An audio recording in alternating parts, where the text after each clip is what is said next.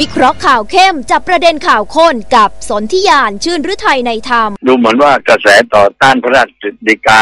พระราชทานอภัยโทษหมกเม็ดช่วยเหลือทักษิณของรัฐบาลยิ่งรักจะทวีความเข้มข้นขึ้นทุกขณะ วันนี้หมอตุลสิทธิสมวงนัดชุมนุมผู้คนกลุ่มเชื่อหลากสี ที่ลานพระบรมรูปรัชกาลที่ 6 ก็ปรากฏว่ามีผู้คนจำนวนนับพันมาร่วมลงชื่อ มากกว่าทุกๆ ครั้งที่หมอตุลเคยจัดการชุมนุม ขณะเดียวกันด้านในสวนลุมพินีที่อาคารดีลาดก็มี ผู้คนอีกหลายพันคนมาร่วมรับฟังการเสวนา โดยแกนนำกลุ่มต่างๆ 30 กว่ากลุ่ม ซึ่งได้ร่วมกันที่จะคัดค้านเรื่องนี้ กระแสจะเกิดขึ้นหรือไม่ แนวโน้มของการคัดค้านพระราชกฤษฎีกาฉบับนี้จะขึ้นสูงหรือไม่ตอนนี้ก็ต้องจับตาดูว่ากลุ่มแกนนำเหล่านี้จะมาร่วมมือกันและประชาชนจะตอบสนองตอบรับแค่ไหนสนธิยานเช่นวิทยในธรรมรายงานครับ